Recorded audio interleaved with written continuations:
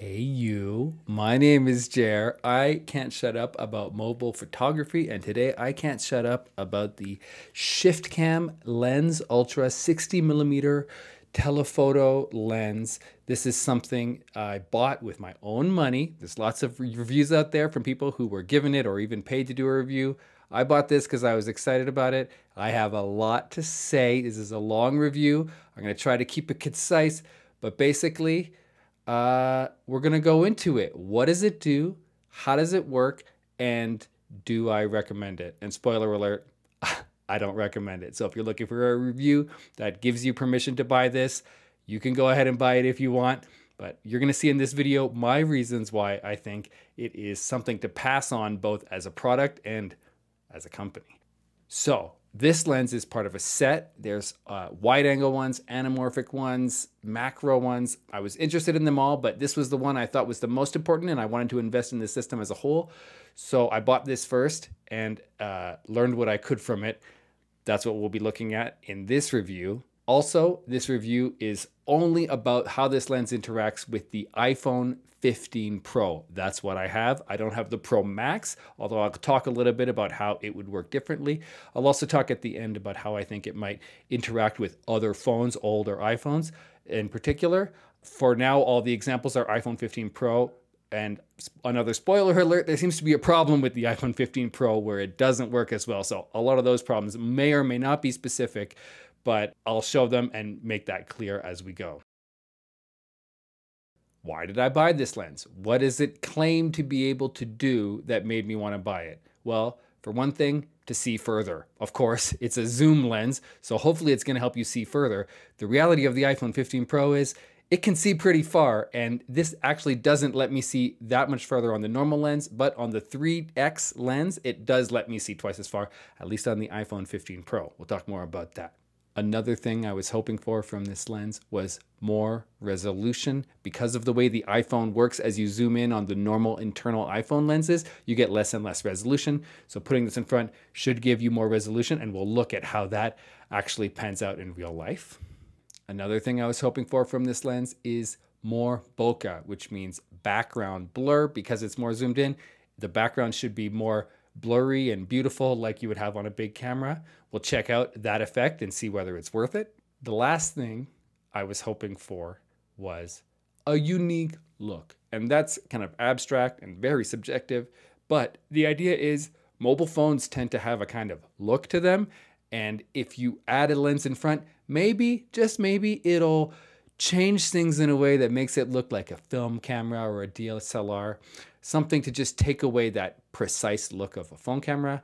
Um, and this lens, in fact, does do that. And uh, it may do it a little bit too much. So we'll look at examples later and you can be the judge. Finally, the last th reason I bought it is simply because I want to commit to mobile photography. I love that my phone is so capable and so small and easy to carry, and I always have it with me. And I want to extend that any way I can. You know, I have a lot of experience being a photographer. I have a great camera kit. I have the Fuji X-T10 here. That's an older camera, but the lenses are excellent and it still takes really amazing pictures. I have some f1.4 primes. Um, but carrying them around is a pain. Not only is I the camera heavy, the lens is heavy, but I need to carry three different lenses to get anywhere near the range and options that I get from my iPhone. And on the latest iPhones, the 14 and 15 with the 48 megapixel sensor, the quality is so good. It's good enough. All I want is more options and control. If I could just attach this lens to the phone, I would, and, and hopefully it would give me a little more background blur on all those things that I'm hoping for from, from this ShiftCam lens. Finally, the last thing is very superficial, but it is part of photography, which is being taken seriously. You know, when I show up at an event and I hold my mirrorless and I say, Hi, I'm the photographer. Can I take your picture for the organizers of this event? People take me seriously and they, they love this camera too. They smile. I get really great photos as a result of it. And I thought maybe, you know, if I show up at an event and I've got this and I say, Hey, cheese, you know, maybe they'll say cheese a little more. And in that logic, I actually told myself, you know, I saw some reviews that said the quality might be so great. And I said to myself, well, if it's as good, if it's just as good as the default lens and doesn't ruin the photos, then the fact that it looks cool will actually be worthwhile. And times when I really want that sort of effect of seeming professional and I, I have a grip and everything, um, it'll be worth carrying and putting it on. But the question is, is it good enough? Does it ruin photos or not? And that's what this review is going to be all about. Before we dig into explaining how the lens works and then analyzing some examples of photos, I want to give a quick TLDR of why I don't recommend it and why I don't think it's for anyone. So, the highlights include the images are blurry. There's just a loss of detail in most of the image in almost every photo I took with it. You lose access to portrait mode, so you can never make the background artificially blurry afterwards, which is an extremely useful feature of the iPhone 15 Pro. On top of those things, which are really the deal breakers for me, there's also the overall hassle. Every time you use it, you have to put the case on, you have to bring the lens, you have to attach it. You can't use your phone normally. You can't use the other lenses while it's attached because it blocks them. And there's a whole thing with you have to do the macro I'm going to show you. But all that hassle, you know, theoretically, I'd be willing to put up with all those things if it didn't ruin the images by making them all smeared and blurry. Uh, but all of it together is too much.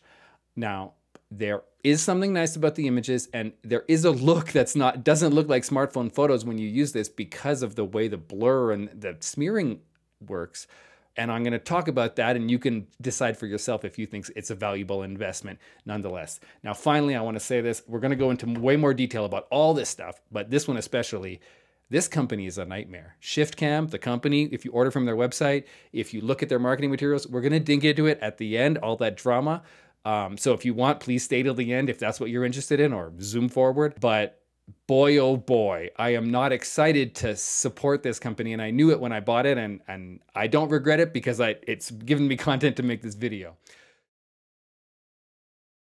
All right, let's see how this thing actually works and the little nu nuisances that are involved in using it. So we have our lens here and we're gonna check it out.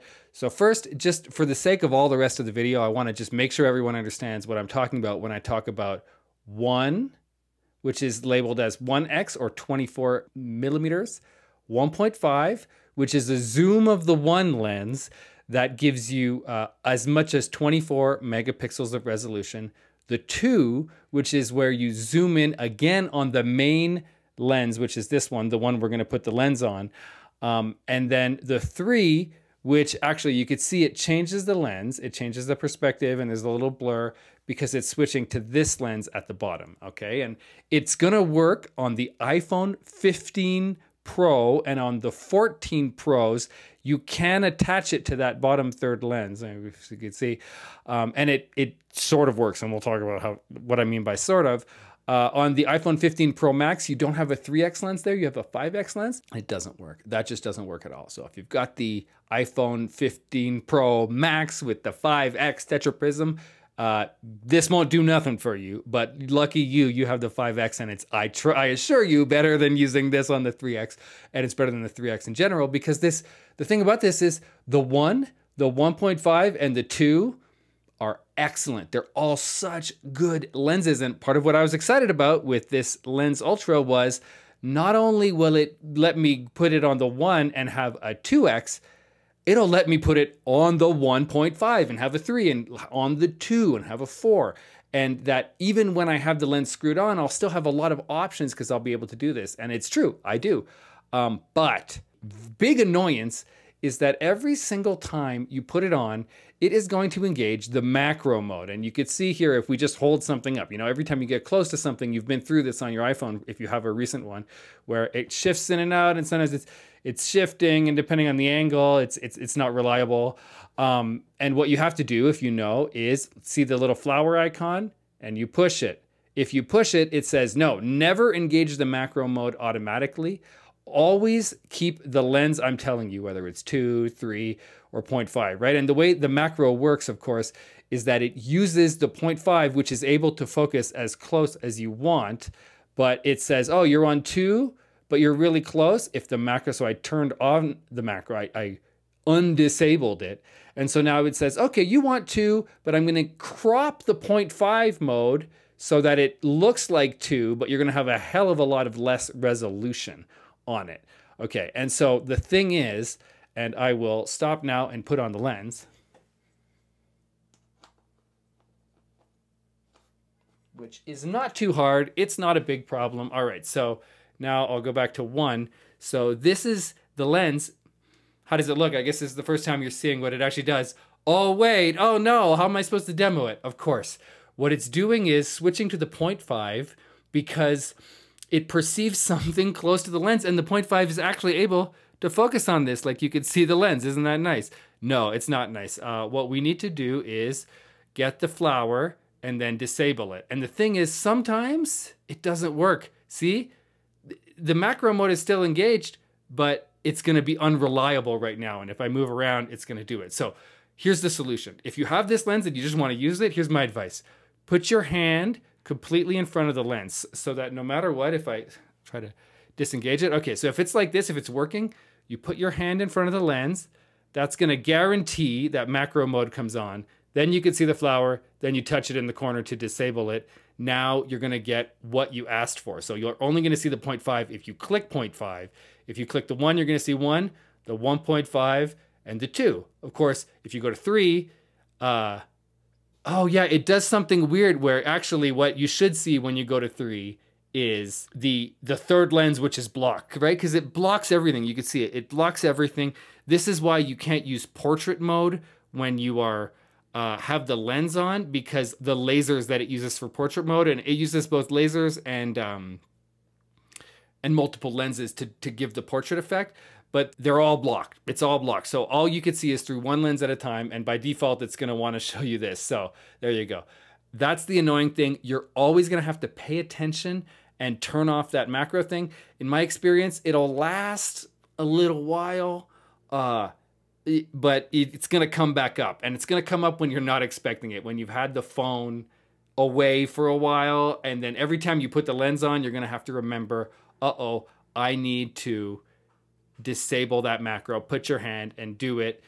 Is it the end of the world? No. You, I could survive with it. But am I going to miss shots if I'm walking around with this lens on? Yes, I'm to miss shots because I'm to be in the middle of framing it and then it's to kick out and then I'm to have to push the button and get my hand in front of it and try and use, you know, you, you know, using this with one hand is really hard because it's heavy. And so I'm to end up with problems. So uh, a final thought is about the 3x lens. So now I'm to show you the 3x lens. So we're to go to 3x, right, which is not the best lens. It's the worst by far. You screw, I'm going to screw it on, and this is the iPhone 15 Pro, not the Max. The Max has the 5X, and this doesn't work at all. But okay, so here's what we get not great. So if I turn off the macro disablement, which I already had on from a previous use of the lens, uh, what we get is this. It is, of course, the 0.5, right? Kind of cool to look at, but not very useful. Uh, it's doing this because it thinks we want macro. So if I come and turn off the macro by covering it with my hand, we're gonna go to the three, okay, now, see, so the three, it's going a cropped version of the 0.5. I can turn off the flower, which turns off macro mode, and that means we're seeing through the 3x, but it just doesn't work. It's not reliable, and, and sometimes, so just trying to help you understand, sometimes it might actually work, and I, I just can't get it. Like sometimes, there we go. I focused on the corner, and for some reason, that fixed it, and now it can see, but look, I don't know, you know, can we blame ShiftCam for this horrible rendering? I don't know. You know, it's just the way the camera works. It's the way all the lenses and the switching works together, which is out of their control. But for what it's worth, in the main camera, you're not going to get a good result. Now, if I come, instead go to Halide, a for-pay app, which you have to go like this. Okay, so Halide, one of the things that's nice about it is there's no lens switching unless you do it manually. So right now it's on 1x in the top right corner. If I click, it'll go to 2x, and if I click, it'll go to 3x. Okay, and so with the Halide app active, you actually can, um, a nice little bird, uh, you can use it. So I can use this and I can take a picture. Um, I haven't tried. There's Halide doesn't take video, but I imagine you could use the Black Camera video app uh, to manually set the lens and then and have it work. But um, yeah, what a pain in the butt that that it doesn't work in the default camera. I, it's just too much for it to process somehow.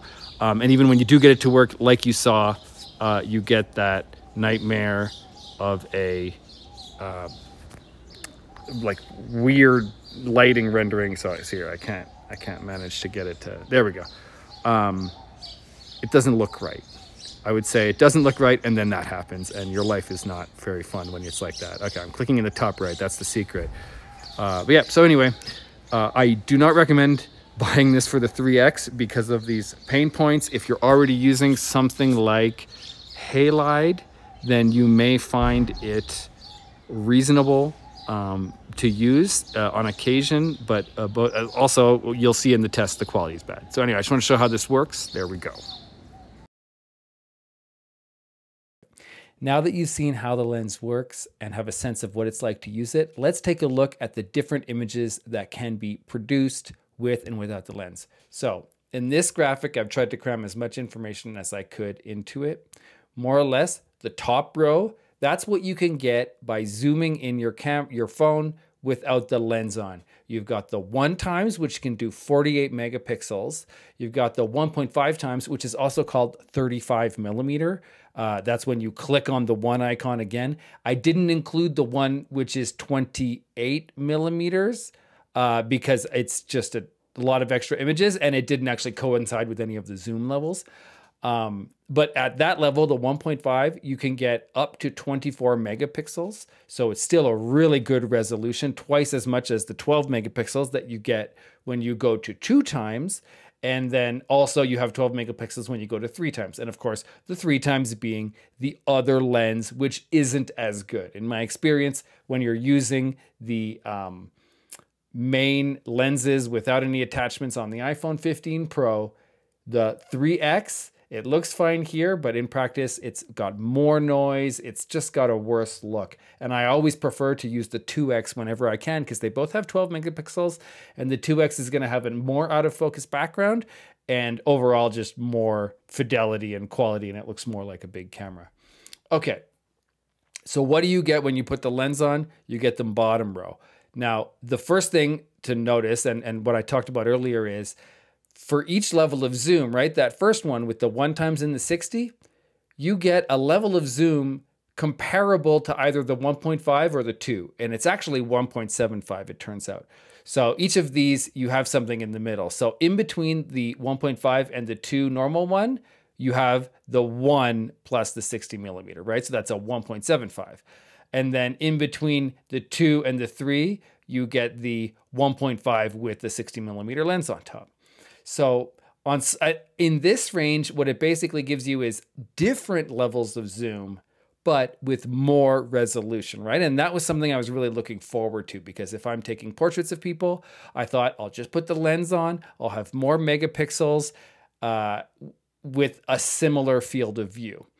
Um, you can also a little bit see how the background is blurry if you compare uh, the uh, 2x without the lens and the 1.5x with the lens, you'll see that the images are pretty similar in terms of how zoomed in I am, but the background is much more out of blur, uh, out of focus, and we'll take a look at that a little more later. Okay, and then finally you get the uh, 2x with the 60 millimeter lens, the second last one, and it is more zoomed in than you get with the 3x, uh, but with the original lens, so you get all those benefits. And then finally, uh, the 3x lens with the 60 millimeter lens on top, which only works on the iPhone 15 Pro and not the 15 Pro Max, as discussed. Um, it gives you a very zoomed in look. So there you go. This is the overall view. Uh, hopefully, this helps you understand why the megapixel thing is appealing, in at least in theory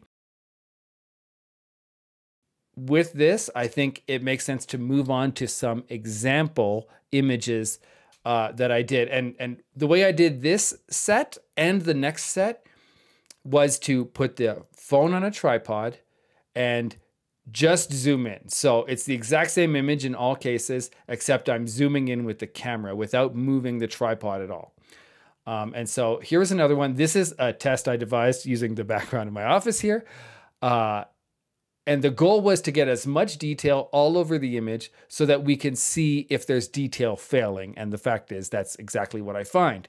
But with the one times lens, and you can see here if you we zoom in, in the center of the shot, I've got these stickies that say no lens 1x. So as I'm scrolling around, if, if you're looking at it on a, a format uh, where you can manage to see those, then that'll be useful to know which one is happening at any given moment. Um, so overall, I would say that the 1X lens, especially the main lens on the iPhone, is extremely sharp. It's sharp from corner to corner at any given time. You can zoom in to just about anything and see nice detail. It's not going to be blurry even on the corners. Um, and this is very much unlike when you have the lens attached. So if we come over, so this is the one, this is the 1.5. Still very, very sharp. We can go up to the corner and this little thing that says gracias, right? Up to the resolution of the sensor, which in this case is 24 megapixels, it still looks great. Okay, now we'll come to the first one. So these are in order of zooming in. So it goes back and forth between with and without the ShiftCam lens. So here's the first one with a ShiftCam lens on it.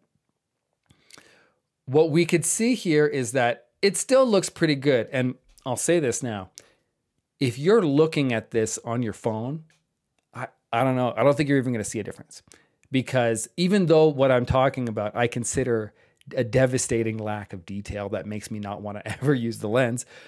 When you look at it on a phone, you just it's just not big enough. You'd have to zoom in. I have to if when I try to compare them on my phone, I have to zoom way in and then I have to zoom out and switch images and zoom in again. It's really hard to see. That's why I have it up on my 5K screen, going back and forth and like, you know, in photography, we call it pixel peeping, the act of looking more closely at an image than almost any usual viewer would.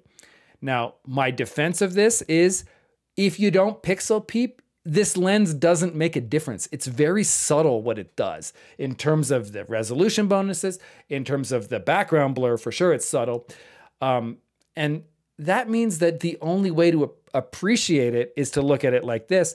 And honestly, that's a reason not to use the lens. Like it's such a hassle to do all the stuff to use it. So is it worth it if you can't even see it on your phone? Like if I if you look at a picture from my mirrorless camera on your phone, you're to see that it's different. You're to see the difference.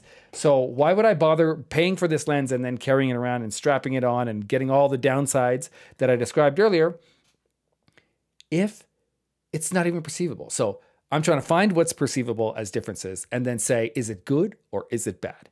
And in this case, it's bad. Okay. So my things I like to look at here are the corner.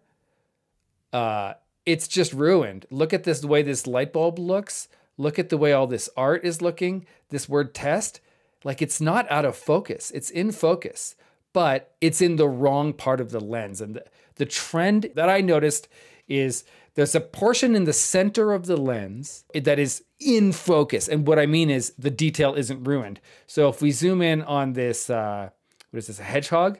Um, you can see there's actually quite a bit of nice detail. It's pretty sharp. But if we move just a little bit up to these birds, like they're so blurry and weird. And look at this 60 millimeter. Look at the way it's just rendered. It's it's just smeared. But, you know, part of this sign isn't quite so bad, although it's pretty bad. Okay, and like look at this 500 bill. Okay, right? There's just no detail. We can barely read this text. And if we come in and go to the next one where we don't have the lens on, look how much clearer it is. We could just really see a lot, even though we can't zoom in as far, because at this point we have a 2x image, and this is only 12 megapixels. So I can only zoom in so far on this sign for Hidalgo. Okay. But we could see the text pretty clearly. And look at this bill. Whereas if we go over this, now we're back on the one with the lens. Look at the bill. Look how blurry all of this is. And it's not out of focus. It's just that only a small amount of the image, see this text, this tiny text here, this is perfectly in focus. So the theme is every image you take, you're going to have a big chunk of it that just loses a bunch of detail. And my conclusion here, if we look, here's one with the lens. My conclusion is looking at this, like the way the way it just blurs out, is that there's no benefit for sure to the extra resolution because having a 48 megapixel image where it's 48 megapixels of blurry stuff that's nothing, it's worthless. You might as well have a 12, 12 megapixel file with more detail. Like, I don't know. Okay, even like these two, this now we're at the 77 millimeter. So now we're at the 3x lens. But look at the difference in detail between the 500 here. Just look at it. And the 500 when we zoom in. This is the worst lens, but the the lens ultra destroys so much detail that to me it's just not worth it. Um, so let's keep going, right? And then this is the uh, this is at 2x with the lens.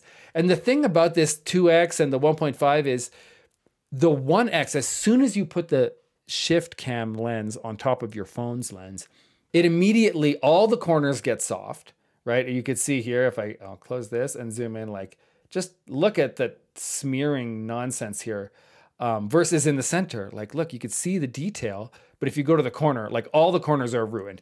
And that's normal. All these lenses sort of do that. And, you know, you probably don't have the most important stuff in the corner. But in this case, right above the center, this bird is already blurry. And then when you go to 1.5x and you go to 2x, all you're doing is zooming in, really, right? That's all those do. But in this case, with the normal lens, where you start with the default 1.1 and 1. and then go to 1.5 and 2, you're zooming in on an incredibly sharp image where the glass is perfectly tuned to the sensor and it gets extreme amounts of detail considering it's just a phone.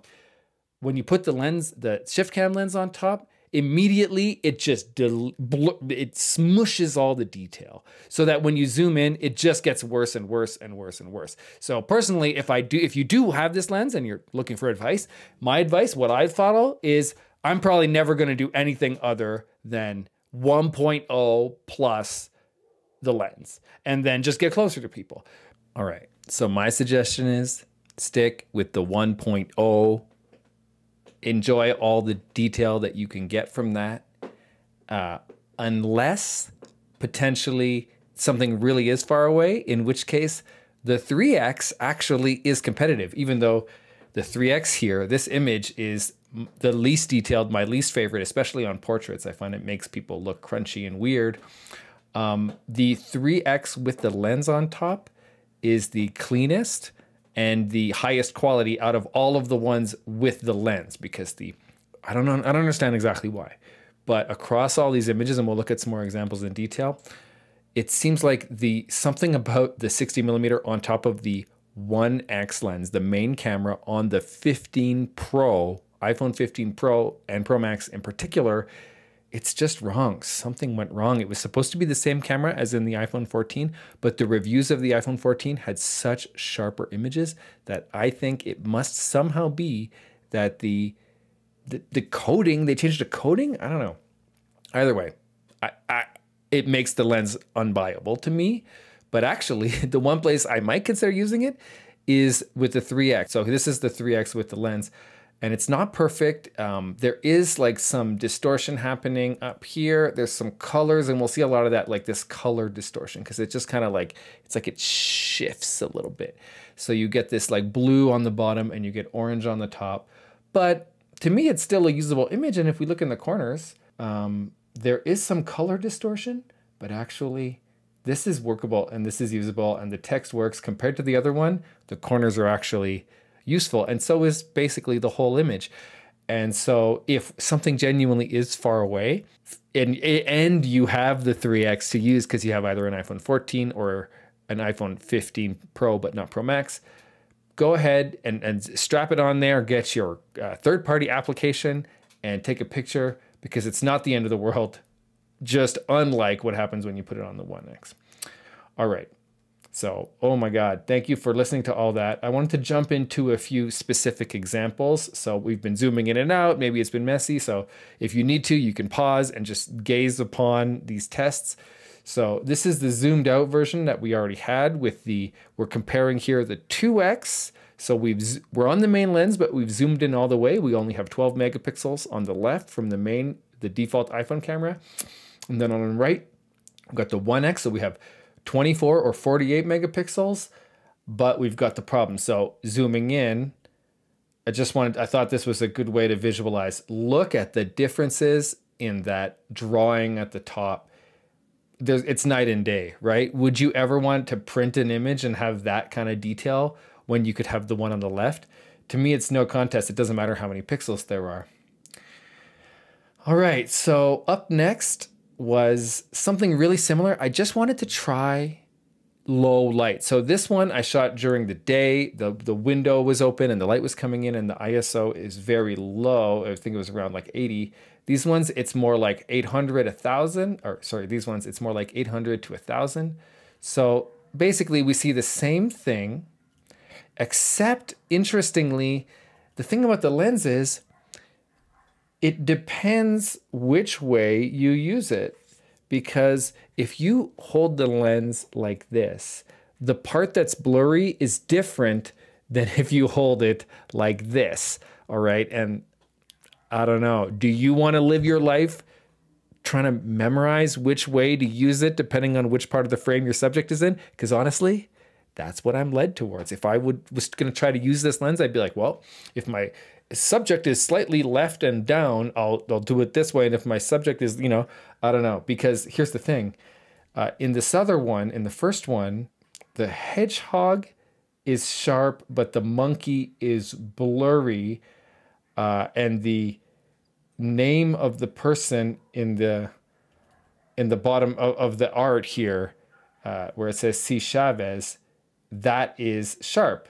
But if we go to this one, and zoom in. So I'll go to my comparison at the end. The C. Chavez is not sharp.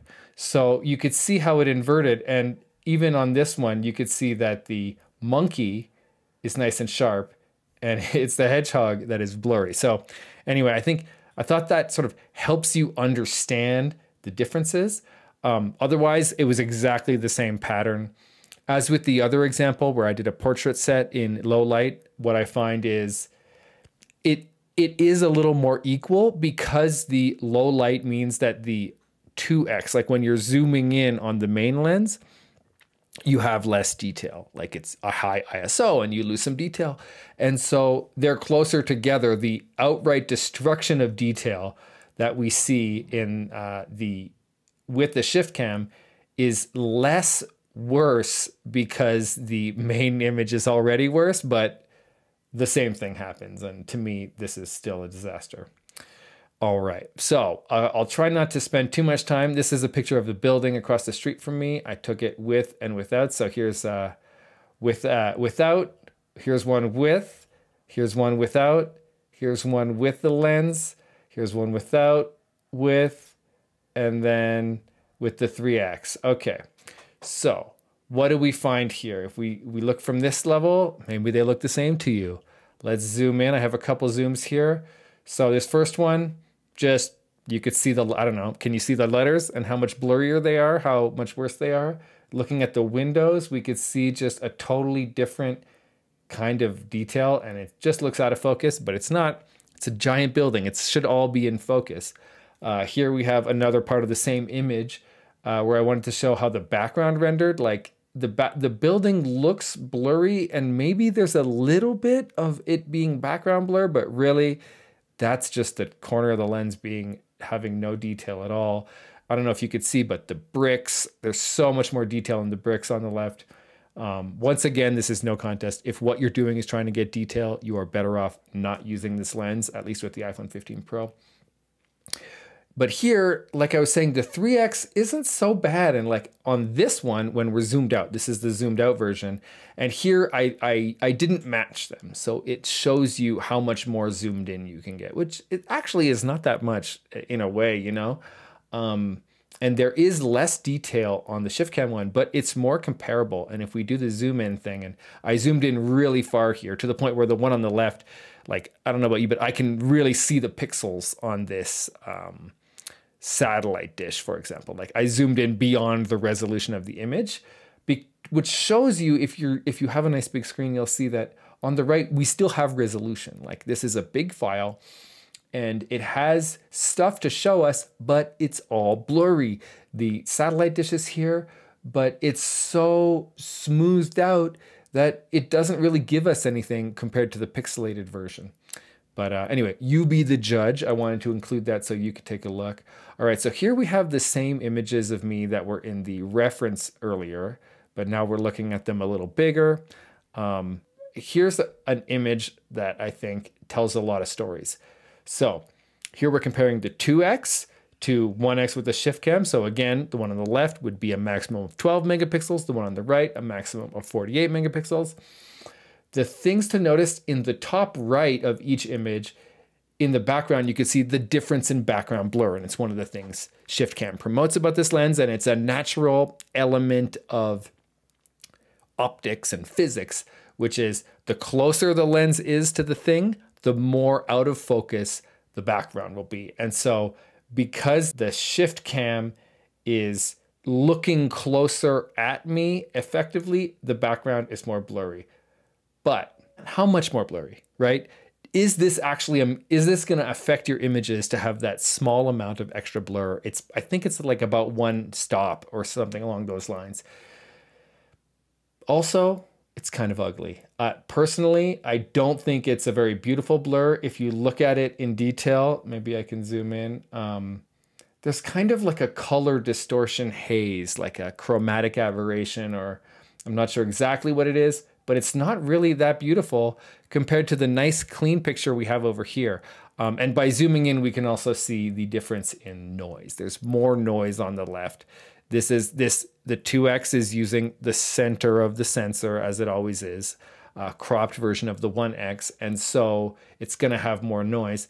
But honestly, when when you come back and look at the um, the actual photo here, the noise in this image is only going to matter when you're looking at it on a 5K display and then zooming in. Um, in real life, that's not going to matter. What's going to matter more is the the way in which it's blurry, right? So just looking at these images, I don't know if you could see it at this scale, but uh, the it, the background does look blurrier even at this scale to, to my eyes. So coming back here, I wanted to show that. That's the difference. It's subtle. It's not going to make a difference to your images compared to like, let's say I was smiling and I had a charming smile. That would affect this image a lot more. I was trying to keep a straight face so that they'd all be the same and I wouldn't bias myself. Um, but okay, what else do we see in this image? We definitely can see the lack of sharpness. My left eye is in the sweet zone, right? It's in the hedgehog zone of this image or whatever. Um, my right eye, completely blurry. We could see it unambiguously. The left eye is sharp, the right eye is not sharp. Um, if I was using my big camera, this happens sometimes when I'm using on f1.4, super shallow depth of field, where one eye is sharper than the other but there's no reason it should happen here. Neither of these lenses should be giving enough background blur that one of my eyes blurry. It's the lack of detail. You could see my whole face on the right is blurry, whereas it's sharp all across on the other one. It's just an example of that lack of detail. The thing to say is, in a portrait, is it the end of the world? No. And in fact, I kind of like them. I kind of like that you can't see my skin so much because the one on the left makes me feel self conscious.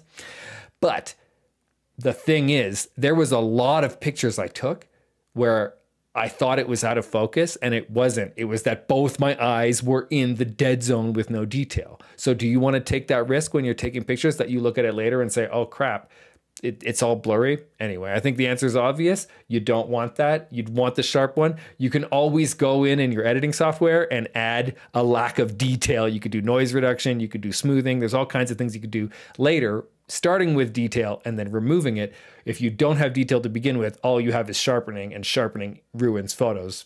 I'll leave that at that. Okay, next, I wanted to give an example of what other options you have if you leave the lens off the camera, specifically portrait mode. The lens disables portrait mode.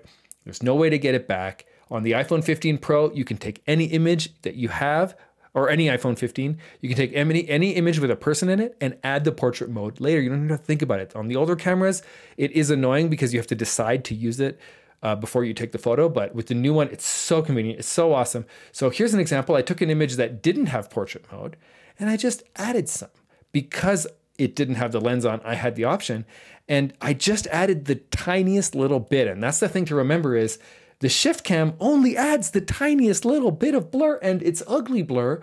So if that's all I need, right, I can go in portrait mode and just set it to f16 where it looked about the same. I put it one more, f14, the edgy, edgy edge of, of the setting there for changing the portrait mode and already it looks more blurry and to my eyes it's a more smooth and beautiful blur you call you know the quality of the bokeh is better it's more what i want it's more like my big camera so i don't mind at all plus the problem with portrait mode as those of you who know who use it know is it ruins the detail around the edge of the subject, right? It, it collapses it. You end up with this blurry line. It makes little mistakes in certain places. Well, for one thing, if you've got an iPhone 15 Pro or 15, it's so much better than it used to be. It really is clean and tight. And in this case, I don't know. If you're on a phone, I don't think you could see it at all. If you're looking at this in 4K on a big monitor, maybe you could see at the top of my hair. There's some like imperfect little joints, but it's pretty good. And when you leave it on F14, F16, F12, or F11, it's really not the end of the world. And you get the background blur, you get that subject separation, you know, the things you really want from it, you can get from it. And for each image, you can tune it and pick exactly how much you want. And in some cases, it'll look good. Like if you're wearing a nice round hat, it'll look good even down at F8, F4. Um, where you'll get that big, beautiful background blur, and you'll have that option. And if you know you're only putting it on Instagram, then you can crank up that portrait mode because you know no one is ever going to look at it with the detail to notice the flaws that it creates. Whereas if you use the ShiftCam, you'll get a tiny amount of extra background blur that no one will ever see if they're looking at it on a cell phone. And you lose the ability to creatively decide later. So I don't know. To me, this is a pretty devastating uh, review of the ShiftCam as a way to get background blur. It's not. It's a way to lose background blur and get blur all over your eye. I think you get the point. We'll move on. All right. So up next, this is a set of images where instead of like this one where the tripod was stable and I just zoomed in the camera to take the same picture with different levels of zoom. With this one, it's less scientific. I moved the camera and potentially myself, because I had to keep getting up, to get the same image.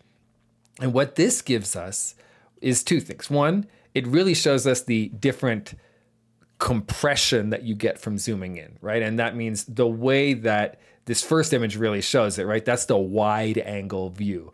And I actually kind of love this image because the sharpness on my eyes is really beautiful and there's just a lot of personality to it. So don't write off wide angle portraits for what it's worth. Normally, this is considered a poor choice for people to have them this close to a wide angle lens because it gives this distorted view. And if it's not the perfect angle, it makes their nose look enormous and things like that. And as you zoom in, you get more and more of this compressed look, which is supposed to be more flattering. So here, I'll just go nice and slow through them. You can see which lens is being used on each one. Uh, the lat, lock, lat loss of detail you could see on some of these. Uh, not ideal. Okay, so we'll come to a comparison here.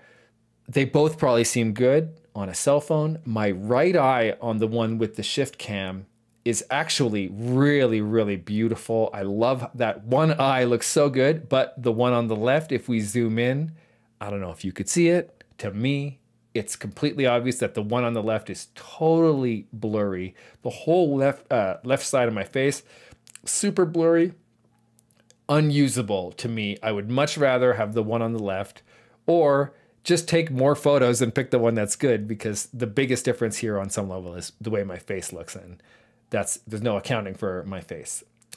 All right, so I also zoomed in here for fun on the lens just to show another example of what I'm talking about. the color distortion around the six here, like, is just unmanageable. Where you have the orange on the bottom and the blue on the top. It's it's it's like it's just shifted, right? Um, if you look carefully here, we could see there's a lot more noise on the left. But what good is having a lack of noise when the actual image can't be seen? Look at the, where it says telephoto. Look at that orange fringe. So anyway, have I proven it? Have I proven it? So this is portraits in a darker scenario. Um, I it, it it the camera made a good job of making it look light, but it I, I assure you it was very very dim when I actually shot these, and the result is I would say um, they're much more similar overall compared to the light portraits. The because the light was so low and the ISO was so high, my face really loses detail on this one. Um, and when you zoom in, it's the, my eyes don't look sharp. And I, I think it was focused. It's just a certain point when the ISO is high enough and the noise is thick enough, you stop having sharpness.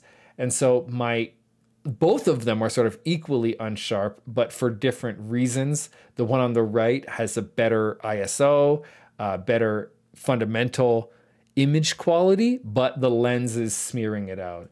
Um, but one of my thoughts was that I would when I would use this is when I want to do pictures of people when it's dark in parties and stuff. And on some level, this does validate it because I can't tell the difference, not nearly as much as the other one.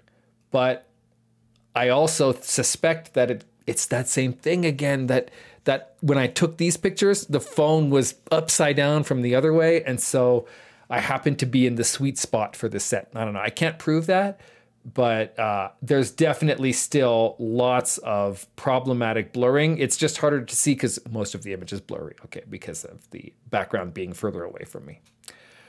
All right.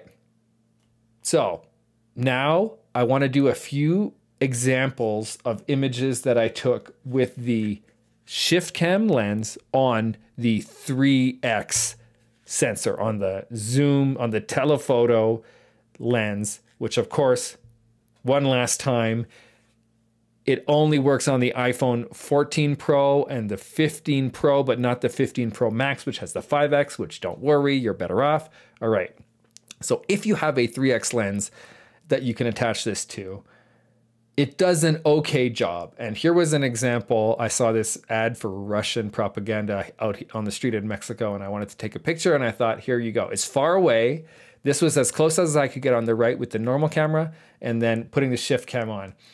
Um, when we zoom in, I think we see something really interesting, which is there was twice as much resolution on the right. And, and for me, I can actually see the pixels uh, in the letters here. I don't know if you could see that, but like the pixels are visible. We're at the edge of its actual resolution, but it's still clearer. This text on the right is pretty smushy. Um, and on the car, you could see some really ugly stuff where there's like an orange fringe on the top of the car, and then inside the windows, there's a blue fringe. And that's there's kind of like a ghostly thing. And it comes up in areas of big contrast where the sun is shining, especially. And we'll look at more examples. But so there's one. Uh, you could see how much further you could see, which is not that much. And you don't really see further because it, it blurs it quite a bit. All right. Next, I was trying to do some wildlife photos. I kind of failed, but here I found a wild cat out here that I was uh, chasing around a little bit. And I thought, what a good subject. So from here, the one on the right probably looks better. It's closer. If we zoom in and compare them, the one on the left, again, I'm zooming in to the point where it's it's a bunch of pixels, okay? But on the right, I don't know. You tell me which one is better. I'm not sure which one I want, but what I know is the one on the left is reliable at least, and the one on the right is unreliable because see where there's like a, a, a bit of light on its back? It's like glowing blue and that's a lens aberration of some kind. That's not what it looked like. What it looked like in real life was the one on the left. Okay couple more of these. Some uh, a tree with what looks like berries so you could see how we were able to zoom in on it and then when we pull in really far for detail we can see that even though it has twice as much resolution at this extreme crop I don't know if you could see it. To me, it's unambiguous. The ones on the right look like they're not in focus, even though they are. The ones on the left look like they're in focus, but they're at pixels at this point. So I don't know. It the question is, is it worth screwing on the lens? Because you know what happened while I was taking these, and I, here's a bird. So I, I tried to just get some photos. This was a very big bird, which is why I was able to get close enough and take these pictures. While I was screwing on the lens, I missed a lot of images. Birds flew away. The inconvenience is real. And I think I probably could have taken a better picture by chasing this cat around with no lens rather than reaching into my bag, unzipping the little case they give you for the for the lens and then trying to get it on and the moment passes and the quality benefit is so small. It's really too bad because I was really hoping this would be one of the uses was wildlife photography. As silly as it sounds, if I know I'm going to be if I'm chasing around birds already, well, why not put the lens on and and and see see what I get, but like look at this stump of wood that happens to have some sun shining on it, it's glowing in a very weird and distracting way, and all the detail is all smushed up, and it's just too bad. Okay. So, uh, oh, on this one, I wanted to show some of this other stuff. Like, look at these rings in the background. Why is it? That's that's barbed wire on a fence. Why is it doing that? You know, and like, look at the sky up here. Look at the way these leaves shine with the blue glow. The chromatic aberration on this lens is really bad in bright sunlight, and that is the worst thing about it. Even though, like I showed you, for the portrait, it was actually pretty competent because it had subdued lighting. But I, I, I, I, didn't use a lot, I didn't take a lot of photos with it on the 1X lens that would test this kind of effect. Um, another picture of the bird where we could see some pretty outrageous chromatic aberration that isn't there when you use the normal lens. There's stuff like that, but look at this. Look at this purple down at the bottom. Like the default camera lens is never going to give you stuff like this. And if it did, it would actually get corrected because the the phone has software inside that knows if if that if the lens makes a purple line in certain situations, the like AI, machine learning, whatever, the the photo pipeline is going to say, it's going to look for it and delete it. It has profiles for the lens. Whereas as soon as you put another lens on top, it's unfortunate, but it doesn't know. So it can't fix it. And so it's in your images and you have to fix it. And none of the software is going to know about it when I was using my Fuji, Lightroom has specific configurations for every known lens. So it knows which lens I used, it's in the metadata, and it automatically applies chromatic aberration correction for the type of chromatic aberrations it's going to find. So it says, oh, I'm looking for cyan, I'm looking for magenta, I'm looking whatever. There's no software in the world that's going to know you had the lens on top, right? Uh, uh, when you're using the ShiftCam, you are the only one who knows that. Your the metadata just says which zoom level you're using the phone. Okay, so that's my detail review. The 3X is surprisingly good, but has its own wonky stuff with how the images render, in addition to the wonky stuff about how to take the photos, right? All of these photos were taken with Halide camera app. So that was another thing that made me miss images was having to switch to that app and then put on the lens and make sure it was all set up properly. Whereas i could have just clicked the, the camera button on the front of my phone in the lock screen and been taking pictures if i was using the normal camera. What else sucks about this? I love you and i'm taking good care of you doing all this work.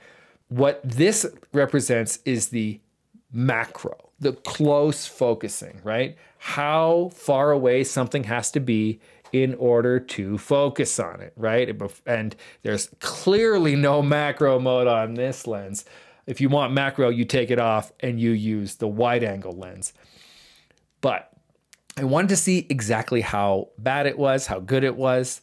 And here's the results. Top row, that's the main camera without the lens. Bottom row, the same zooms without with the lens. Um, what I did was I used the Halide app, which has a manual focus mode where you can it super zooms in and you can see. So I moved the box closer and further until it was perfectly in focus, and then I measured it with the tape measure, which you can see in these images, and I uh, took a picture. Right, so The measurements let us see how it compares in terms of how far it is. And the images let us see how much you can magnify something with these lenses. So if you want to make something fill the frame, can you? And the answer is it's a lot harder when you have the lens on. Even though you could see further, we could see that with the main lens, it's the the main lens is 17 centimeters. Okay, I can't. I'm not going to convert it into imperial for the uh, United Statesers. But basically, we can do the comparison 17, and then when we put the lens on, it's 47. So it's more than twice as much. And so what happens is we can only get half as close to the thing while still having it in focus. And so if something is small, you can't make it look big. And this is, of course, the box, which is this big. Um, so it's like head size, I guess. And so if you want to fill the frame with someone's head, you can't, right? And I'll show you this image. Uh, I was trying, when I was taking this set, and I was just saying, my goal was just fill the frame with my head, right? That way, just because it was an easy way to make them all the same and have the same layout. But when I got to 1x with the lens attached, this happened. And I thought, oh my God, it's so uh, blurry. But actually, it's not that the lens lacks detail. It's that it wasn't in focus because it was too close. It's literally impossible to take an in focus picture of a head the size of mine, which is a pretty big head, uh, that fills the frame. I had to move back. And so this image is the same thing. And obviously, it's a lot better and it has a charm. I had to move back just to get the photo. And I had a bunch of times where this basically happened, where I was able to take a photo without the lens on a certain viewpoint by going to 2x. But when I came here to the lens on, it was blurry and I didn't know why. And the truth, the fact is, it couldn't focus. And on the iPhone, I find when you're too close to focus, the phone is really bad at telling you. It like my my my mirrorless gives me a red like it's a green box if it focused and it's a red box if it finished trying and didn't work. On the iPhone, it doesn't tell you that. So if you're taking pictures like this where you're too close because of these statistics that I'm that are boring, um, you're not going to know. You're you're only going to know later when you look carefully on your computer or whatever and see that the person isn't actually in focus. And it really is disruptive because you get used to how close you can get and then all of a sudden it stops working. And the iPhone without a lens on, it really makes you used to trusting it to focus because as soon as you're too close, it not it, it switches to the wide angle lens. And at that point, it can go right up to someone's eye and take a picture of their pupil. So you're used to always having shots in focus no matter what. And all of a sudden, you're going to have a lot of shots if you're getting close to things that don't work. A plate of food, it's not going to work. 47 centimeters, half a meter, it's a lot. You got to back up to take a picture.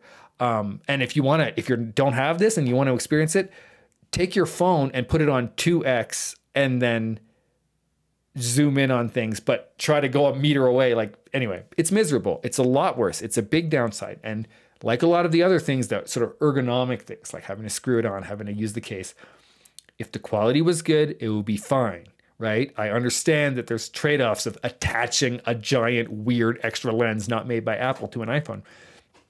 But on top of everything, this is a bummer, and I was sad to see it. Uh, and with the highlight being, if you put the lens on top of the 3x lens, it's 105 centimeters, over a yard for the people in the States, that you have to be away from something. And you really don't get closer to that if it's small, that's for sure. But usually, if you're in that zone where you're trying to zoom in on things, you're probably far enough away. Like, that's fine, don't worry about it. But it is it is kind of shocking because it's it's again more than double. All right, I think that's enough about that. Another topic of hot debate among people reviewing this lens is the lens flares. So I went outside and did a demo, which I will show you now. Here we are with the 60 millimeter lens attached. We're on 1x. We can also go to 2x. It'll show the lens. And what I wanted to do was test the lens flares. So here we go. Let's see if we can get, it. okay, so the sun is up there just on the corner. We're right at the edge of it. Okay, so here we can see some lens flares that are kind of interesting, blobby, ugly. Um, I think this is reasonable. I'm not gonna go and fault the lens for having lens flares like this. Uh, it's very normal. Why are you shooting into the sun, right? Like you can't even look at that with your eyes. But the question is, what's their quality? And the answer is kind of weird. Here, it gets a weird, that's just a big lack of contrast. And then look at that really weird blue haunting blobby. So there we go. Like some answers, like kind of stuff that you can get. The real problem though isn't that, it's this one here. Oh, look at that in the bottom right. Oh, that's ugly. I haven't seen, oh, look at this little rainbow one. Anyway, you can get all kinds of stuff. So let's imagine I wanted a shot with that rainbow in it. I'm taking my hand and I'm just covering it a little bit. Just shading it with my hand. So the part thing is not having your hand get into it. But yeah, see, we are mostly safe if I if I give it a shade with my hand. So depending on your shot, you will be protected. With hand, without hand, you can see that thing is coming in and out. So, it, so it's not impossible to get rid of it, but oh man, it does come up. It does come up. And I had it yesterday just having my phone near my computer monitor was causing some of them. I'm trying to see if I can get some more um, from different angles. Get it over here. There's one. Look at that. Like, that is not good for your photo. If I wanted to take a photo of this graffiti here, it's not a good thing. So it's pretty bad, um, but it is survivable. See, I can I can really delete it by just taking my hand and I could see the shadow on the lens and just casting this the shadow of my hand over the lens gets rid of it completely and you're all better. So that's not the reason not to buy this lens. I think the rest of this video is going to show you why you, I think you probably shouldn't buy this lens. But I just wanted to demonstrate it. Wow, that's a really special one. And again, shadow on the lens fixes it 100%. Uh, you could also put some kind of, unfortunately, there's no lens hood system for this. So hopefully that helped you understand. Like I said, it's not the end of the world. You can fix it, but if you're not using the ShiftCam lens, you're not going to have that problem, right? If you shoot directly into the sun with the iPhone, yes, you're going to get lens flares in that scenario, but they sneak up on you. And I did have multiple shots throughout this whole process that had the lens flare in them, either the the red chunky thing in the bottom right or a blue chunky thing in the bottom right like this. It's really just not ideal, and it's another small thing that makes me want to live without this lens. Up next, I want to take a minute to talk about ergonomics in general. And so, how does it feel to actually use it? So first of all, the case. I like it. It's okay. Um, there's nothing wrong with it. The buttons are very pleasantly clicky, which is something I care about. The bottom it could be bigger. Uh, it's a new issue with USB-C cords that there's a lot of cords that aren't have a big thick thing to them and they don't all go into this one. Um, personally, the worst thing about the case is just that I don't want to use this case. I have a white silicone case with a white silicone strap. Um, it's just really different. It's a really different preference I have. I like a lot of grip on my cell phone for holding it. And so just having to use a specific case is kind of a bummer, um, even though I think this is a very good default one, and I have no problem with it, other than my speculation that maybe it's the the case that's somehow uneven and misaligns the lens and causes that loss of loss of detail. I don't know. You'd have to work at ShiftCam and be the person whose boss yelled at them when they realized that quality was there and that all their marketing materials were going to be a lie. But um, yeah, it's good. The uh, the way the lens attaches is nice. Uh, I I'm very satisfied with it. I the Moment one, like the Moment is another brand of lens that has like a little bayonet thing, and it sounds good. But honestly, some people complain about this. I was worried it would involve a lot of turning, but um, I find it's reasonable. If I'm if I know what I'm doing and I'm going for it, I can get it all done in one turn by by having my hand ready to go.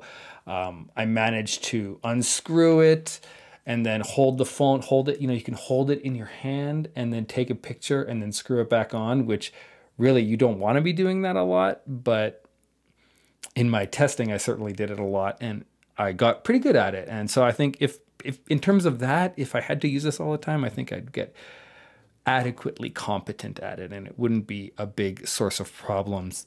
Um, one thing I noticed is that the the sort of threads inside the metal of on the lens and inside the case wore down a bit. Like you could see silver inside, but I don't see the problem with that. Honestly, I wish the metal here was silver. I think that would be really cool. Um, but it's fine that it's black and it doesn't matter that it frayed a little bit. But that happened right away and it hasn't caused any problems. what else? Well, it came with some other stuff. It came with this lovely polishing cloth uh, with a ShiftCam logo. I'm going to be using that. That's this might be the thing I use the most.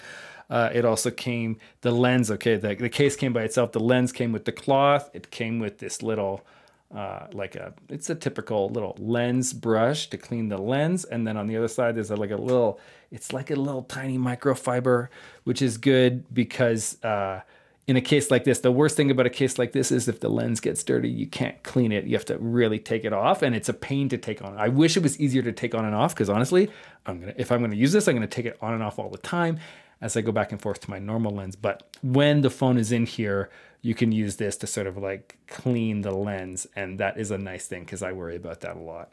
Um, yeah, so yeah, nice little gifts uh, on 175 US dollars. If I haven't mentioned that yet, that how much that's how much the lens costs uh, if you're using the default ShiftCam website. Oh, and of course the case, which is a beautiful little piece of design. It zips up. There is a perfect space for the lens inside. It's all very cute and nice, and also not very useful because it 100% is impossible, or I don't know, there's someone out there who can do this with one hand. I'm never going to try and learn because once it's open, it has to be all the way open to get the lens out. And once you've got it open, the lens can fall. And in fact, I dropped this in the grass once while trying to take pictures of the birds, and I wouldn't want to risk it. So you absolutely need to have two hands to open this and get the lens out. But wait, which hand is holding your phone? That's annoying. So I'm not sure exactly. I know uh, Moment has little bags that they give you, and this is much better protection. But I think I'd rather a little pouch because then you could sort of like squeeze the pouch and give birth to the lens uh, with one hand, or you could uh, hang it on your belt. Like it has a beautiful carabiner here. I'll take the lens out.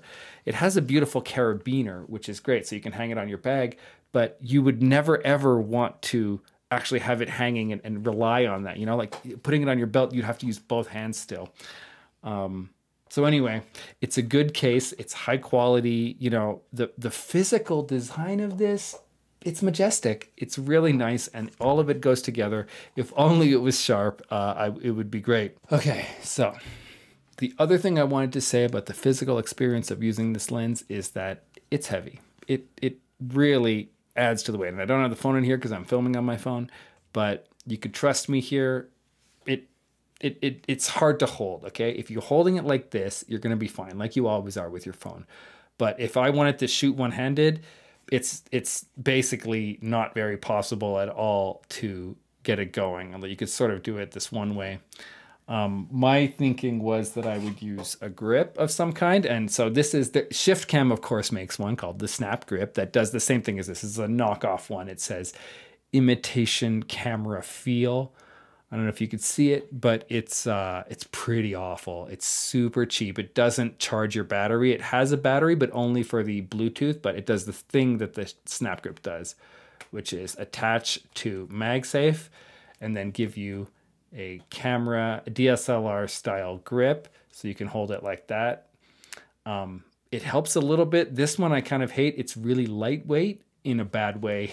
I wanted it to be lightweight so that I could carry it, and if I don't use it, I don't feel too bad. But um, with the phone in, it doesn't feel secure, and it anyway. This one is not good. There's other ones because you know MagSafe things have the circle, and then they can have the line, and this one doesn't have the line, which means that it can rotate. And the SnapGrip one would be better, I think. But honestly, I'm not totally sold on this whole format because of the way the way your hand. Anyway, um, the problem is you're going to be messing around with this stuff. So I have this other one, which is there's a few in this format, um, but this was it's called Sesen Pro. It's not a good one. It's old and it has the wrong USB on it, but it's really ugly. it sticks up above, but actually I find it a lot more comfortable. I find it's more like the uh, extended grip I had on my mirrorless, where I actually have the thing that screws onto it to add more because it was kind of too subtle. So it it feels like that. Like I really feel like I could use it one-handed, which is good if you're somewhere where you're holding a drink or you're directing people or whatever, right? Like it's useful to be able to shoot with one hand. That's no joke. You need something with a uh, Bluetooth button on it. This one has a Bluetooth button on it. Anyway, you're kind of the this isn't about the lens, right? You can use it without that, but having a lens, any lens like this, kind of pushes you into that territory, especially a big one like this. I think some of the moment ones are like lighter and smaller, um, which looks less impressive, but it it's relevant. Okay, and final thoughts on ergonomics and the physicality of using it. To repeat some things I already mentioned before, uh, it's annoying every time you turn on your phone. You may or may not have to cover the phone, wait for the macro flower icon, and then click it. That's annoying. That's going to make you miss shots. Every time you want to use one of the other lenses. So if you want to get a wide angle shot or you want to get a 3x shot, you're going to have to take this off first and hold it in your hand and find something to do with it. It's not really convenient. And of course, the fact that if you ever want to use it on the 3x lens, even though it works, and if you have a camera, uh, a phone that can handle it, you're going to be annoyed at having to use a third party app. To have to remember that. So, overall, a lot of little annoyances, even though uh, if the job of this section was just to review the hardware that came with this, I'm in love. I love it. I, I, it would feel good to buy a lot more of them and develop a whole collection if only the quality was there and if only I could trust the company. Trust the company? Why would I bring that up? Well, ShiftCam is a bit of a problematic company. They have a tendency to mislead their customers, and their shipping practices are sketchy as hell, as far as I'm concerned. Uh, the summary of this section is if you're going to buy anything from ShiftCam, any ShiftCam products, use Amazon. And if it's not on Amazon, it's okay. Live without it or wait until it comes on Amazon because there's problems. So I'll start with the marketing for this lens, which I think has a lot of issues. Um, the main one being just that it's not true, that you don't see further most of the time. You don't get more detail. They're promising to see further, they're promising more detail. They're also showing a lot of images that obviously weren't taken with the camera. And that's just weird. And like, I don't know, don't sue me. This is just my opinion. But my opinion is these photos are definitely not taken with this lens on. So this image I actually researched. Okay, so I took this image that they put up where it's at an angle, and they use this image over and over again of the phone and the lens, and the phone is showing a picture as if you're taking it with the lens. And I reshifted it all so that this image would be appropriate format so I could do a reverse image search. And I just found a ton of places that were using it. Here's an example. So it's clearly, I don't know, I couldn't find any where it was being sold as a stock photo, but it's clearly being used that way. So my question for you is what's happening? Did they take a stock photo of a woman and use it it, to make you think it was taken with this lens? Or did all of these different websites somehow find the photo taken with the ShiftCam Lens Ultra 60 millimeter and use it? So I think that's pretty unambiguous. Um, further down on the website, they have this section packed with features and magnification, balance proportions. And I looked at these photos and I said, there's no way these photos were taken with this lens. Like, why are you lying to me? Look at that dog. And then I got like you scroll to the side and I saw this photos and I said, wait, I swear I've seen this one with the kid and the blur before uh, in like some in my history of reading blog articles and stuff. Uh, and it's just impossible the amount of blur on this and I did a reverse image search and I found it on a blog. This is actually a blog article about aperture, and this is their example of too much background blur. It's an 85 millimeter lens on surely a full frame camera at f1.6, right? An extreme scenario where everything will always be blurry.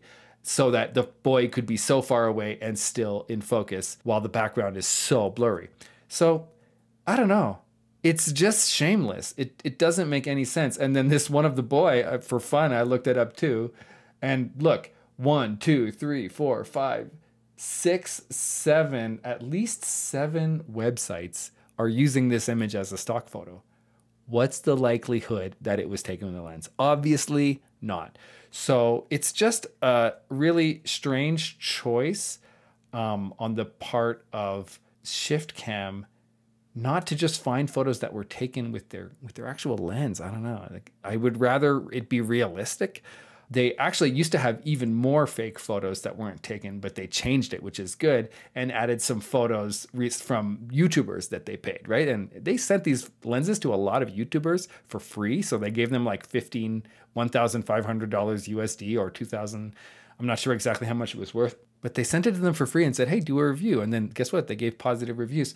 But that is where they get these photos. So these are the names of different people who they sent the lenses to for free, and then they got reviews. Um, and so these are real photos taken with it, and they are not impressive. I I don't know about you, but this photo as an example of being able to see far and get a lot of detail, this is horrible. This is exactly what I would expect from using the lens, and and it doesn't make me want to buy it at all. The star one is interesting, although it's again, it's not, it doesn't actually have good colors or anything. It's just a kind of interesting photo, although not even. It's a bit of a lazy photo because the YouTuber was in a rush to do a review. My photos in this review aren't good. ShiftCam, don't use them to promote the product, please, because they're bad photos. Uh, this one, JCK RBG, I watched a couple of his videos and this photo was kind of okay, but again, what a good example of the lens. Look at the loss of detail all around the cat. That's not background blur. That's just blur. That's just loss of detail. Like uh, this is so unimpressive. Anyway, it's amazing, but this was the best they could do. And that's why from the beginning they had lies. I think these ones might be real, but anyway, these ones down here, I don't know what to say other than this is very misleading. The idea that people would assume these photos weren't taken with the lens is like really hard to believe. So um, anyway, um, while we're on the website, I'll just point out that they very interestingly have um, these reviews. You can read reviews on their own website that people write, and a lot of them are very negative.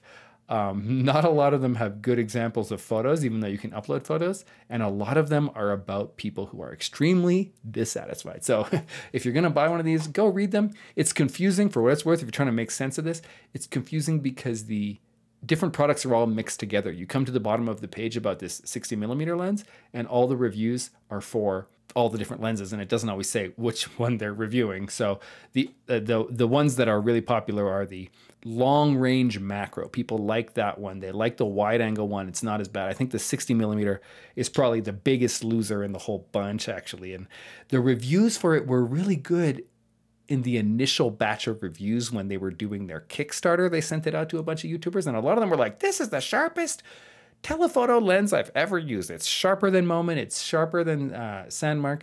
But then a lot of the same people got new review copies of the final product because what they had before was some kind of prototype, or I don't know exactly what happened. But when they tried it on their 15 Pros and did the same review again, all of a sudden they were like, yeah, that 60 millimeter is nothing special. And maybe, and they had a couple examples, but I feel like they were burying it because they didn't want to show how bad it was. That's my little suspicion.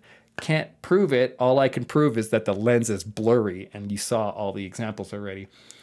So, one of the things people complain about a lot in these reviews, and I've also seen them complaining about it in the comments of other YouTube videos about these lenses, is just not getting their product. Specifically, the people who signed up for the Kickstarter for the launch of this whole LensUltra series. Some of them bought the full set. They spent $1,500 on all of this lenses and they just didn't get them. Months pass, months pass, months pass. Where's my lenses? Some of them are still out there if you go to their Instagram of ShiftCam, you could still see people complaining, saying, "Hey, who do I have to get in touch with to get my lenses?" And it's like, what? Like they might have a whole new phone already, and they still haven't gotten their lenses, and that's weird. Um, my lens sort of came at a reasonable pace Um, it was slowed down because the they had not yet shipped any of the iPhone 15. I got my iPhone 15 as soon as possible after it came out, and so the, it takes them a minute to get the case ready and launch it. So I was waiting for that, but it became relatively quickly. Aside from a terrible, I had a whole situation where my address was wrong, and then they messaged me and said, "You we tell us that you, your address is wrong. Tell us a new address." And I was like, I didn't get the message from their ticketing system. And then I got a message from their ticketing system saying, You never replied, so we're closing this ticket, which I don't know what would have happened. I would have just never gotten my lenses. But I replied to them and tried to help them change my address, but they never replied to me. Uh, I waited like a week and I was like, Hello, are you there? Like, are you helping me change my address? And they're like, Oh, sorry. And then they tried to fix it. But uh, it, they never they really were terrible at getting back to me. It was incredible. And in the end i wrote them and i said you know what? Cancel my order. I don't even want this thing anymore. Uh, and they were like oh we already shipped it. Like that was how they told me that they had worked out the address thing and then shipped it. And then i wrote them back right away and said oh what address did you ship it to? Because i had given them different versions of my address and i wanted to know which one they were trying. And they never wrote back. They never wrote back at all. Also uh, i bought it during Black Friday and there was like a 20% off and it was supposed to be a little tripod, like a little crappy, their crappiest, most poorly reviewed tripod uh, was supposed to come free in the package because I had spent over $200 or something like that. And it never came. When I got it, there was no tripod there. And I wrote them and told them about that and they never replied to me. So I, I don't know. I shouldn't even have this product because I tried to cancel it, but they didn't listen to me. Like they're very bad. That this experience of going on their website and buying things is just awful. And I'll throw something else in, which it doesn't, I didn't see it in the purchasing system. I only learned about it because of a comment on their Instagram, which was if you buy it using a code, which is like a 10% off, a 20% off, you can get them on the other YouTube reviewers have these codes that they give you. I don't have a code. Don't buy it. um, but if you use one of those codes, you can never return the product. This, all sales are final if you use the code. And that's toxic. That's terrible. I'm like, this is not appropriate. And so many people learn about this when they try and return their products. And I'm like, I don't think it's a coincidence. I don't think I'm the only one who made it through that. I think you have to like click terms terms of service and then read everything. So boy oh boy. ShiftCam I don't like supporting companies that are misleading. Uh, there was also the thing where it says on the box that it is a two times teleconverter, the 60 millimeter, and it's not. It's a 1.75. And there's a lot of companies that make 1.7s and not a lot of companies that make two times. And so it's like a marketing advantage. Like I was comparing it to the Beast Cam lens and it was only 1.7. I said, well, two is more than 1.7 and it's just not. It's 1.75, no difference at all. The other thing that comes to mind that's a bit misleading was their close focusing. They claimed it was 30 to 40 centimeters close focusing distance, and I measured it at 47 centimeters and 105 centimeters. It's not the end of the world, although Apple claimed 20 centimeters and 60 centimeters, and it turned out to be 17 and 41, while ShiftCam claimed 30 to 40, and I got 47 to 105. It may be that that 30 to 40 was for a different camera, like a different phone. But either way, you know, you just can't trust what they're saying. None of their marketing material is true. They're not giving you a realistic impression of what it can do. And the fact that they claim that it works perfectly with the iPhone 15, I think just isn't true in my experience. There's big problems with the iPhone 15 Pro anyway. I think this has been long enough. Let's start wrapping it up here with my final review. I don't recommend this lens. I can't think of times when I would use it rather than nothing. And to me, that's the definition of a bad purchase. I shouldn't have spent money on it. I hope this video is entertaining to you so that I didn't waste my money. I honestly think part of my problem here is that all lenses like this are inherently problematic and imperfect.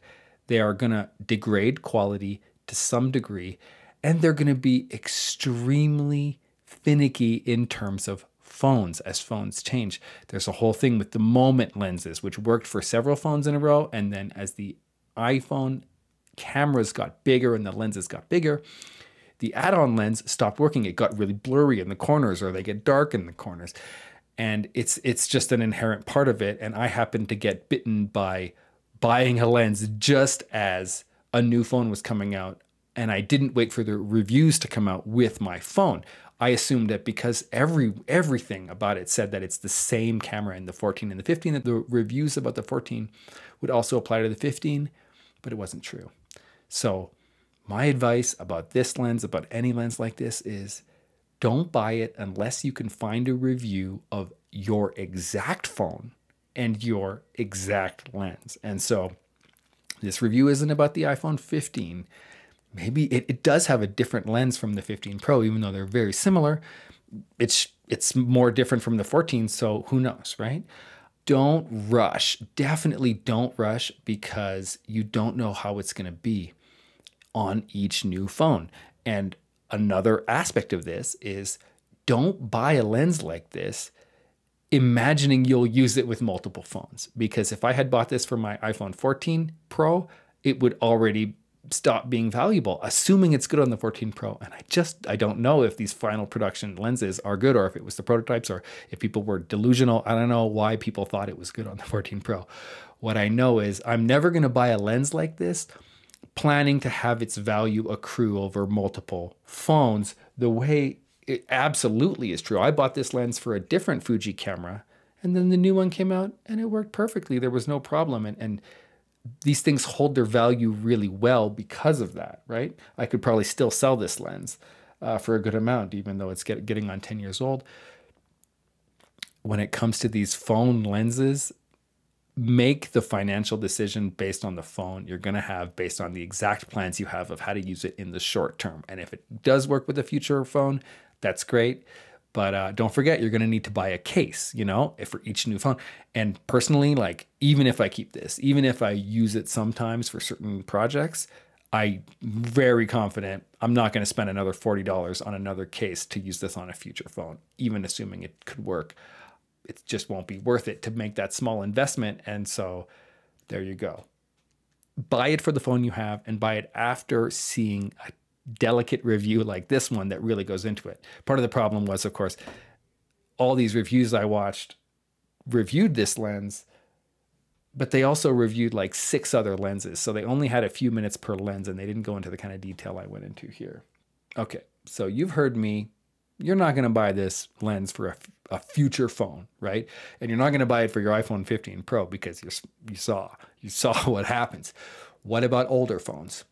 It's hard for me to say about any previous phone. What I will say is if you've got an iPhone 11, 12, 13, the ones without the big or the 14 non pro, the ones that don't have the 48 megapixel sensor that can do the 1.5 and the 2x sort of without losing quality while still having the 12 megapixels, there is a bigger value because when we look at the chart of the different sizes, we see, you know, if you only have an iPhone 13 non pro, then the only image you can really get is that first one.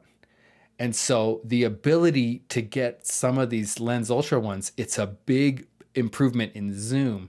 And if you have something like the 13 or the 11, you know, and it does have a 2x lens like my 11 had, it's really low quality. And so maybe the the ShiftCam is going to compete with that low quality 2x a lot better than on the 15 Pro, right? We are spoiled with riches with these latest 14 Pro and 15 Pro where you have the 48, you have the 3x, you have the ones in the middle, and it just makes the extra sort of versatility of focal length so much less valuable and then we become more critical of the detail and the in the fuzzy eyes and all that stuff. So, if you've got an older phone, maybe it is worth it. But then again, aren't you going to upgrade it?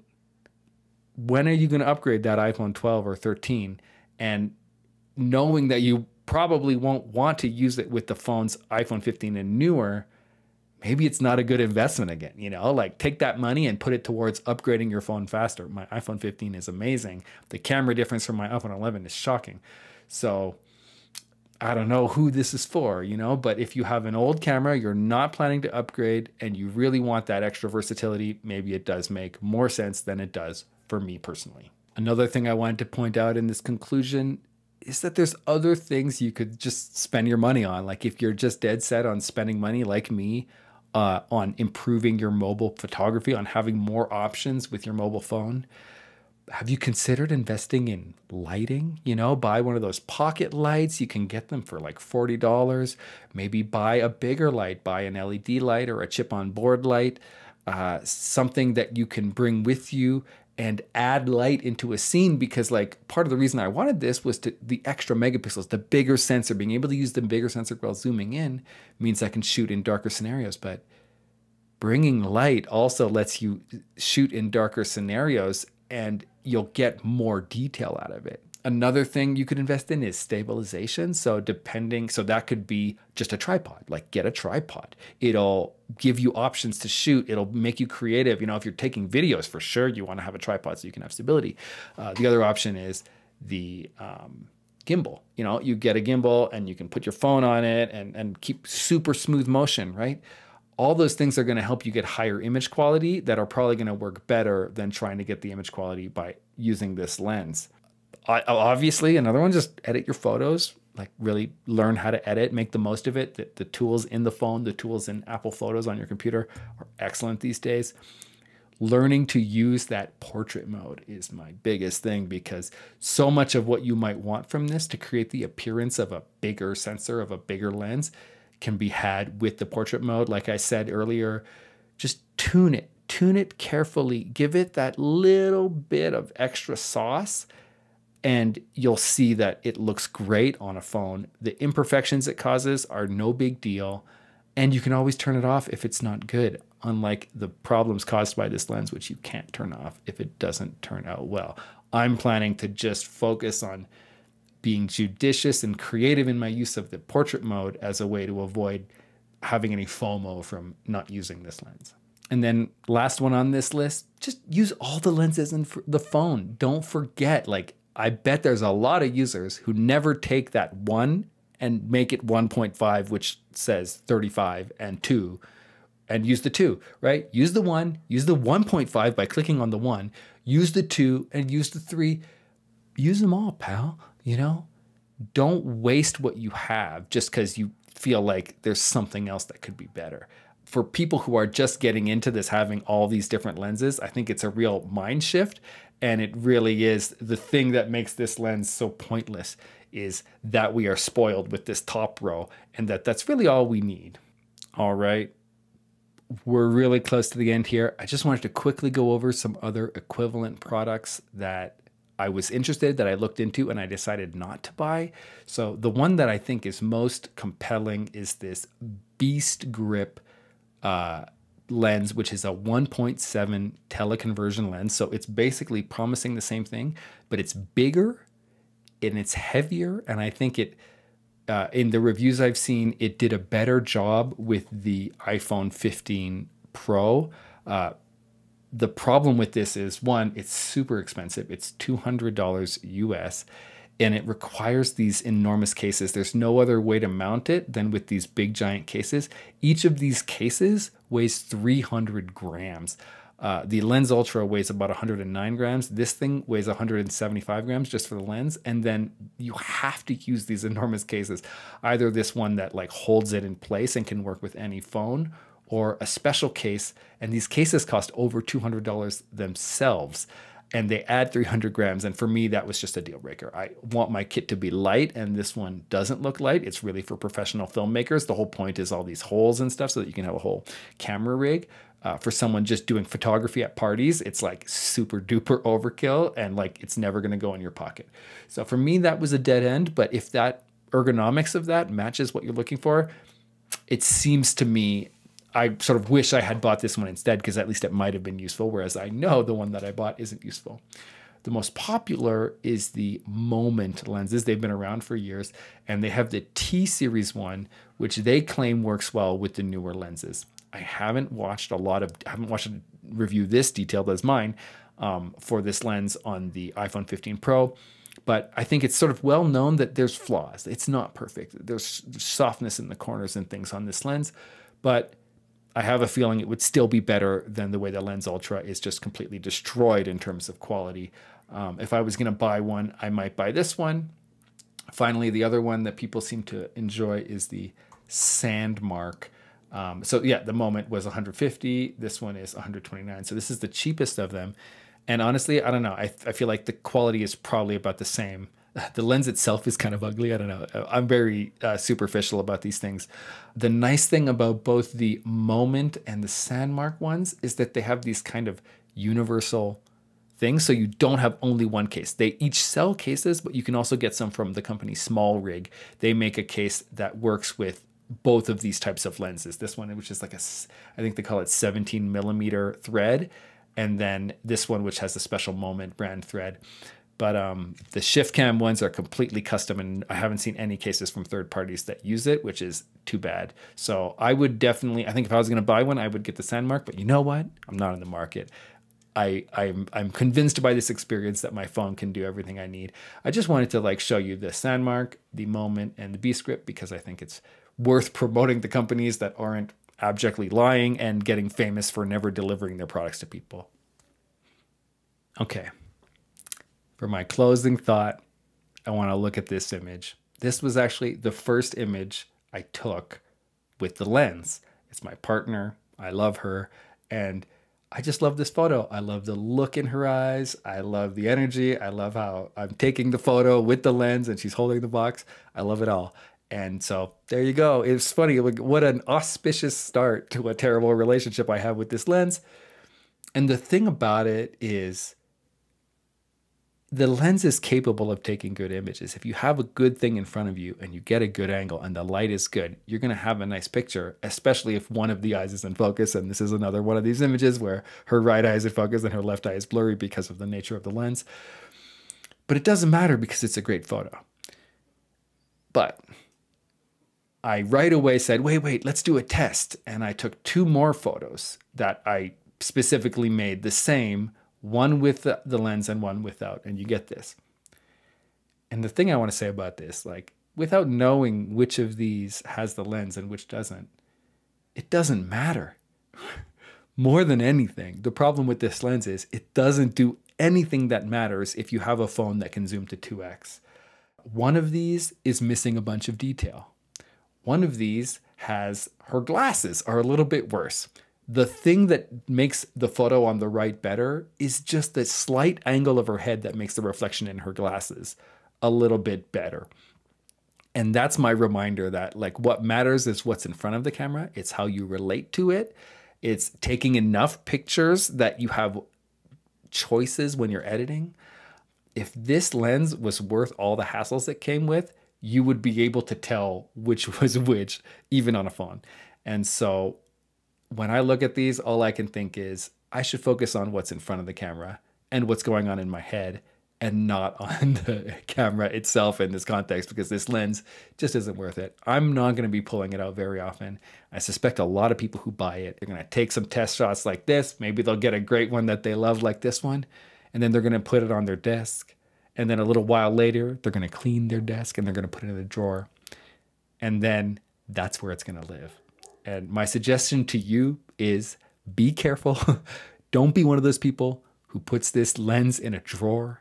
I'm going to invest in lighting instead and in practicing and taking pictures and going out and doing those things rather than fussing over this lens and the case and all the things. I'm so sorry for subjecting you to so much of this review. I did not think it would be this long when I started. I am Jer. I love you. Bye bye.